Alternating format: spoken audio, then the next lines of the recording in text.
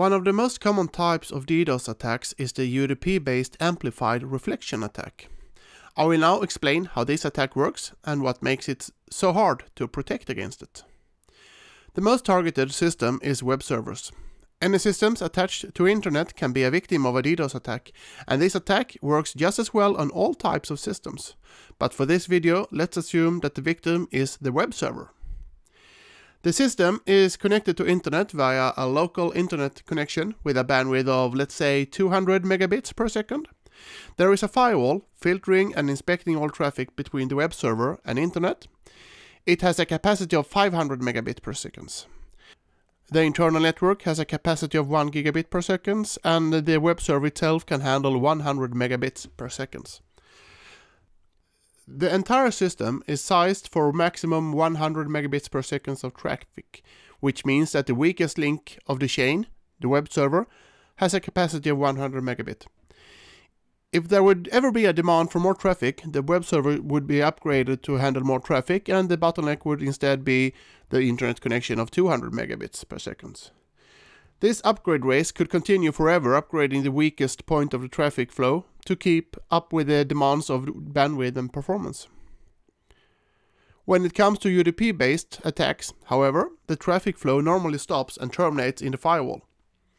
This means that the capacity of the parts behind the firewall is irrelevant, and in this case the weakest link is the 200 megabits per second internet link.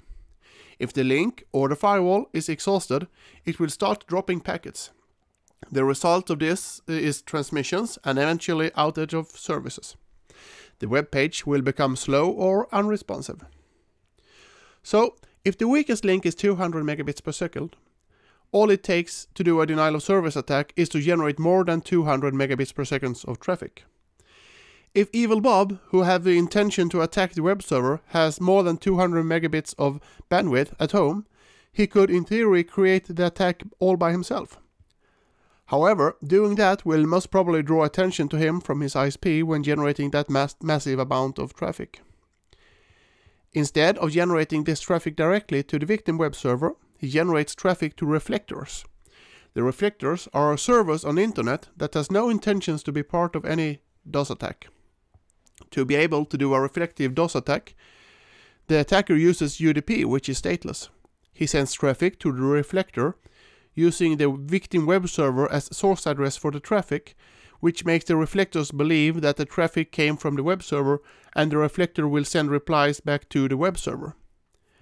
If the attacker used TCP packets, which are stateful, the packet from the attacker would be a SYN packet, and the response from the reflector to the victim would be a SYN-ACK packet, which has no payload and is rather small. By using any kind of stateless UDP packets where the query, the first packet, is small and the response, in this case sent from the reflector to the victim, is bigger, the attack would be amplified. If the amplification factor was 1 to 10, the attacker could generate 20 megabits of UDP queries to the reflectors and the responses from the reflectors to the victim would be 10 times bigger, 200 megabits per second. This is called an amplified attack. There are different types of UDP-based protocols used in amplification attacks uh, today. The most common types uses DNS or NTP servers. In both cases, proper configured DNS and NTP servers does not answer to these types of queries. But there are many not properly configured DNS and NTP servers on internet, which can be used as reflectors for these attacks. To further strengthen these attacks, the attacker does not send the UDP packets himself to the reflectors. Instead, he uses botnets for this. A botnet is a number of malware-infected computers spread over the world that the botnet controller can use for various purposes. Your or mine virus-infected computer can be part of this botnet. If the infected computer does not do anything active, it is called a zombie. It is often a background process running in the computer invisible, for you and me, just waiting for the commands from the command and control server managing the botnet. In the DDoS scenario, the botnet command server is called a stresser or booter, delivering DDoS attacks as a service on internet. Anyone with a credit card can pay a few dollars to the person in charge of the stresser, and this will deliver, deliver a DDoS attack against the target of choice. So, In a typical DDoS attack, Evil Bob is just a person wanting to take down a service on internet. He visits a web page delivering stresser services.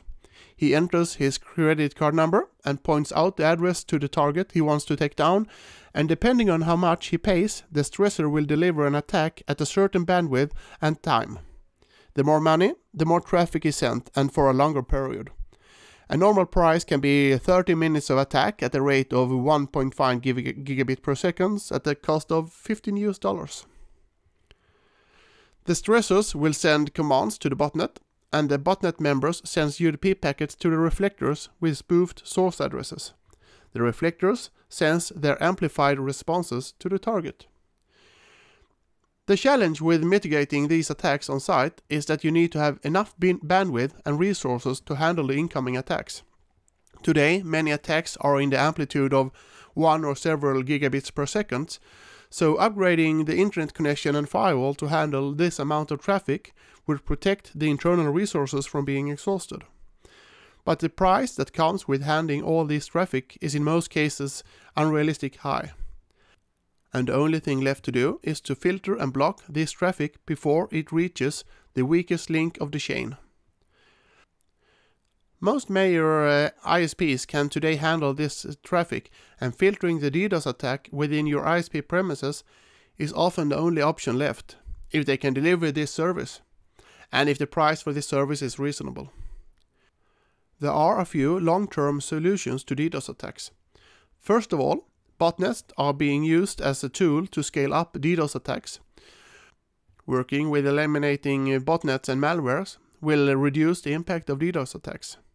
Second, unpatched servers being used as reflectors should be upgraded and properly configured. When using DNS service as amplifying reflectors, the attacker takes advantage of the fact that the server is configured as an open resolver.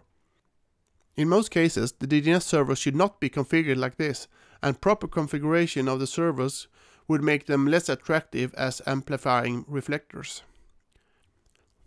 Third, in my opinion, the most powerful counterfeit of DDoS attacks would be if ISPs around the world would implement unicast reverse path forwarding, also known as URPF.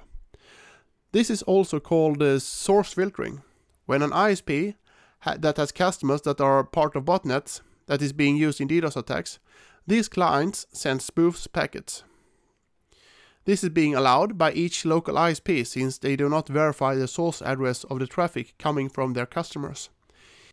The ISP knows that traffic sourced from their customer would have certain specific, specific ranges of addresses in their source field of the IP packets. Today, most ISPs does not implement URPF which makes source address spoofing easy to use.